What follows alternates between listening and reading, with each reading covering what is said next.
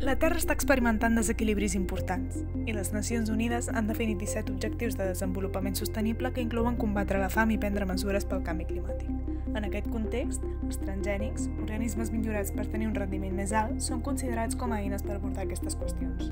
Hola, sóc la Nora Escoiabel Moravit de l'Institut Ridaura i avui us presentaré el meu treball sobre l'impacte mediambiental dels transgènics. Els objectius d'aquesta recerca han estat explorar detalladament els transgènics, analitzar les tècniques de creació i avaluar els seus avantatges i inconvenients, i especialment l'impacte mediambiental. Per aconseguir-ho, he realitzat una revisió exhaustiva de fonts acadèmiques, incloent articles de la Biblioteca de la Universitat de Girona, als quals vaig tenir accés gràcies a la meva estada al Jove Campus de Recerca el juliol de 2023. Durant la recerca teòrica, vaig descobrir que durant la creació i el cultiu de transgènics s'utilitzen herbicides com el glifosat.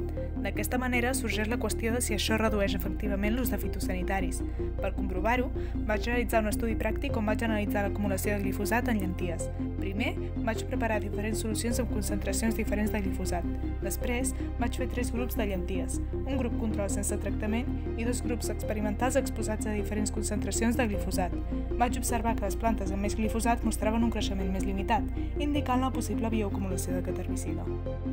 Per tal de mesurar amb precisió aquesta acumulació, vaig utilitzar l'espectrofotometria, que consisteix a mesurar la quantitat de llum a una determinada longitud d'ona que absorbeix una mostra.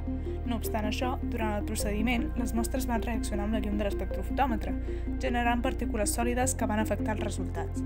Tot i així, vaig observar que la mostra més concentració de glifosat va solidificar abans, malgrat estar més diluïda, de manera que vaig atribuir la reacció al glifosat i no a la fotosíntesi. Els resultats del meu treball suggereixen que són necessaris uns estudis més amplis per avaluar l'impacte global d'aquests organismes. Només una anàlisi completa d'aquest recurs podrà il·luminar el camí cap a una agricultura més sostenible. Moltes gràcies.